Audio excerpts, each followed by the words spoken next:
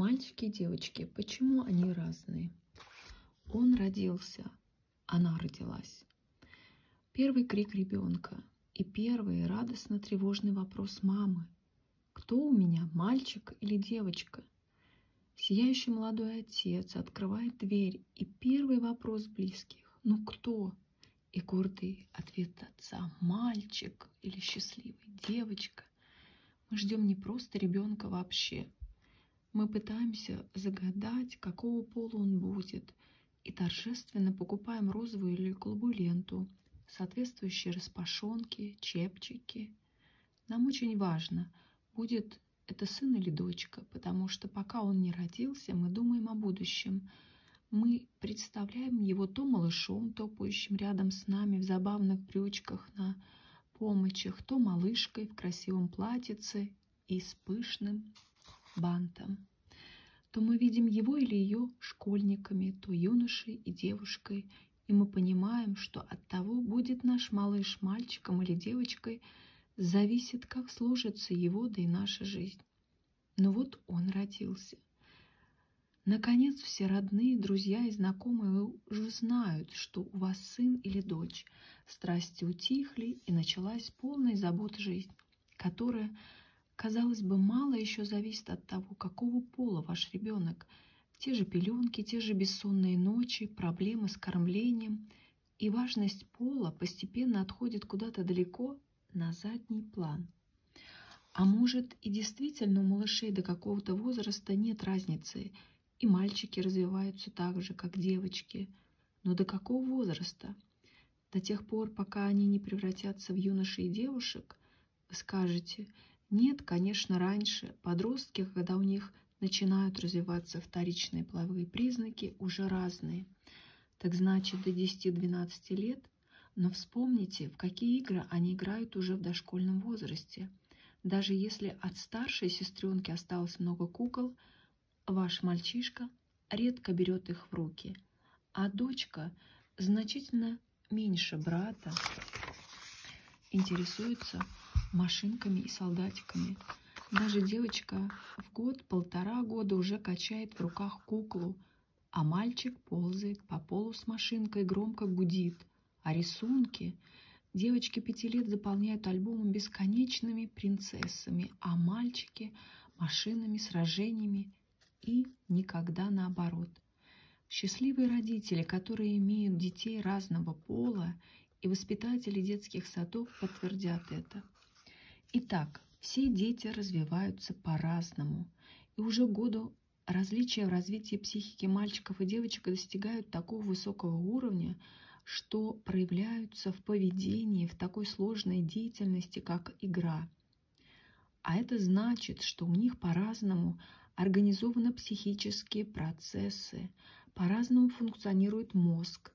Этот важнейший человеческий орган, от развития которого зависит, каким станет ребенок, каков будет его интеллект, насколько будет богата его эмоциональная сфера – Хороша ли будет у него память, какие особенности мышления будут ему присущи.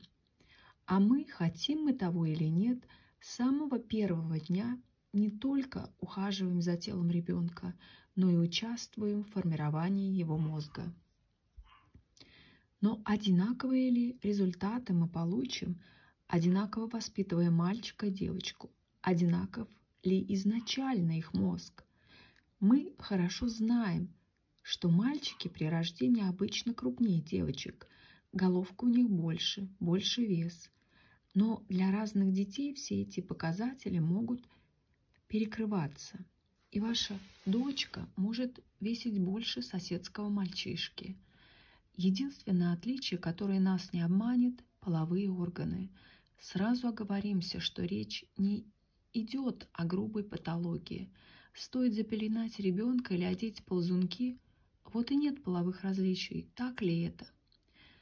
Записывая биотоки мозга у совсем крошечных малышей, новорожденных и детей первых месяцев жизни, мы убедились, что мозг мальчиков и девочек уже в этом нежном возрасте работает не одинаково, и в большинстве случаев, проанализировав взаимодействие электрических потенциалов разных областей коры мозга, моторных, зрительных, слуховых или ассоциативных, мы можем с большой долей вероятности сказать, какого пола этот ребенок.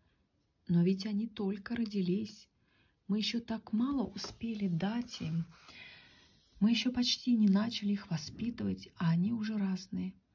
Их мозг готов впитывать информацию, готов воспринимать и анализировать все, что его окружает. И в первую очередь лицо, голос, прикосновение матери – Оказывается, органы чувств младенца уже настроены определенным образом, и из всех звуков он выделяет звуки человеческого голоса, настроенные именно на эти частоты. Из всего зрительного ряда выделяет человеческое лицо. Но уже на первом месяце жизни процесса восприятия и анализа информации мальчиком и девочкой различаются – а как же наше одинаковое восприятие маленького сына и маленькой дочки? Да нет одинакового восприятия. Мы взрослые, тоже дети природы, и интуитивно чувствуем разницу в их зарождающейся психике. И немного по-разному разговариваем с сыном и дочкой, используем немного отличающиеся жесты и мимику. Но не у всех родителей это проявляется достаточно четко – у большинства очень скоро интуицию, направленную ребенка, вытесняют чувства, связанные с собственным комфортом или дискомфортом. Специальные исследования показали, что родители чаще ругают мальчиков и более ласковы с девочками, даже если детям только по два года. Видимо, их раздражает излишняя подвижность мальчиков, их выраженная поисковая активность. Всюду лезут, все ломают, портят – то есть на половые различия психики детей мы реагируем разным к ним отношением. Но есть и другая сторона.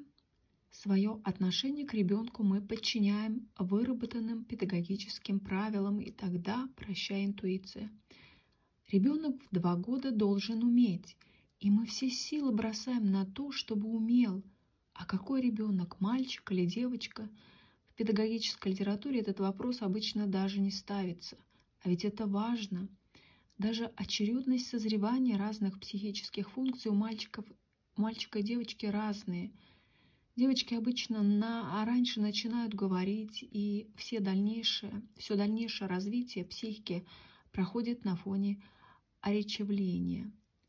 А у мальчиков то же самое происходит еще на наглядно-образном уровне – это скажется в дальнейшем на особенностях уровнях развития мышления, речевого, образного, пространственного, логического или интуитивного. Значит, уже в раннем возрасте нельзя подходить с одной меркой к развитию психики мальчика и девочки. Но во многих методических пособиях, рекомендациях, учебниках, книгах мы видим неумолимое – Ребенок в один год должен, в четыре года должен, к семи годам должен. И приводится таблицы по возрастам, что должен уметь бесполый ребенок. А вот таблицы таких сравнительно мало существенных для будущей жизни ребенка. Да простят нас педиатры, показатели, как рост и вес, составлены отдельно для мальчиков и девочек. Значит, вес тела разный, вес мозга, соответственно, разный – а все то, ради чего существует это тело, этот мозг, то, что является результатом их деятельности. Произвольное движение, восприятие, анализ информации, мышление, память одинаковые? Конечно, нет. Ну, предположим, мы вас убедили. Хорошо, скажете вы, ну и что же? Пусть они разные. Но что это меняет? Чем поможет мне это знание? Мне, как родителю или как воспитателю, учителю, не торопитесь. Мы вместе с вами сделали только первый шаг на пути к пониманию сложного мира мальчика и не менее сложного, но совсем иного мира девочки. Это только первая глава книги, которая, мы надеемся, ответит на многие ваши вопросы, поможет открыть эти два мира. К сожалению, каждый из нас сам смог побывать только в одном из миров. Кто-то из вас еще помнит, как был маленькой девочкой, а кто-то мальчишкой. Да и то многое уже забылось. Нам не дано самим побывать в мире иного пола, пожить его проблемами, почувствовать его переживания, поболеть его болезнями, проникнуть в мир его мыслей, понятий, отношений, негласных правил. И поэтому иногда нам кажется, что этого второго мира и нет.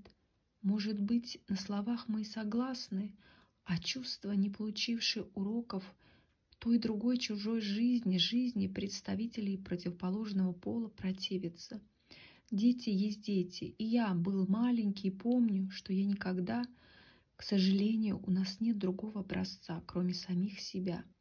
С этим образцом, а образцом ли, мы сравниваем своих детей или детей своего класса, группы и мальчиков и девочек.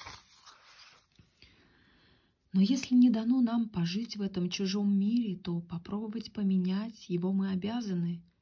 Если хотим понять ребенка, помочь, а не помешать ему раскрыть те уникальные возможности, которые даны ему своим полом, если хотим воспитать мужчин и женщин, а не бесполых существ, потерявших преимущество своего пола и не сумевших приобрести несвойственные им ценности чужого пола. Итак, вот они перед нами, мальчики и девочки. Попробуем заглянуть под покров тайны раскроем для себя загадки мира мальчиков и мира девочек.